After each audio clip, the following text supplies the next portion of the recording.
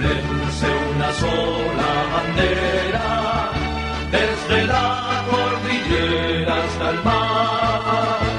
Es un hombre seguido de guerra, como Yure le quiere cantar. Es el canto del hombre en los campos.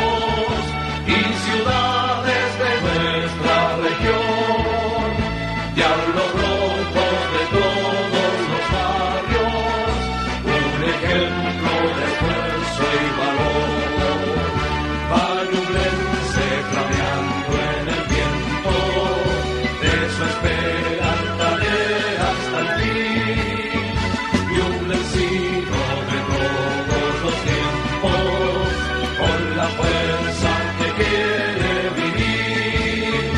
Y a unos rojos de nuestra región, añublense todo el corazón,